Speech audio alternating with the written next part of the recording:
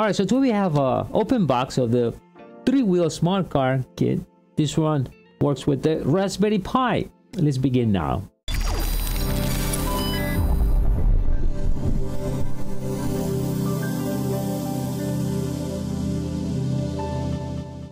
How you doing everyone? My name is Dario from MediaBoxENT.com and yes, as you see, we bring you a lot of smart devices like for the Raspberry Pi. And instead we have an open box of this nice three-wheel kit.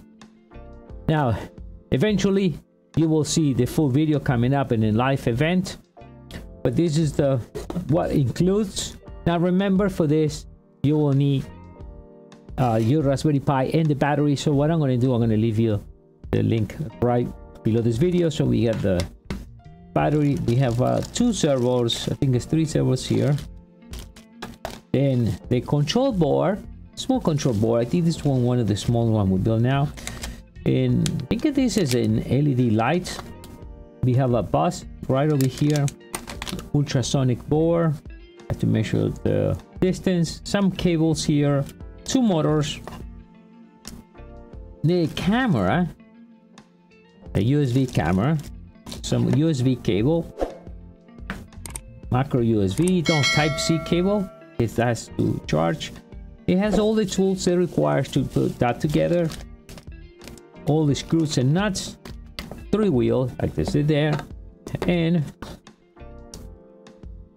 parts to put together. I think this is a pretty simple one to build as the other ones we built. Remember the, the we just have these um, uh, new event every Saturday. We build something new here in the Media Box ENT.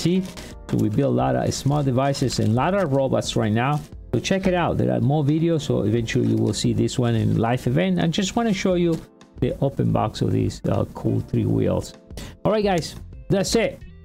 So remember what I'm gonna what I'm gonna do. I'm gonna leave you all the links, batteries, right? For the Raspberry Pi and all the parts you need.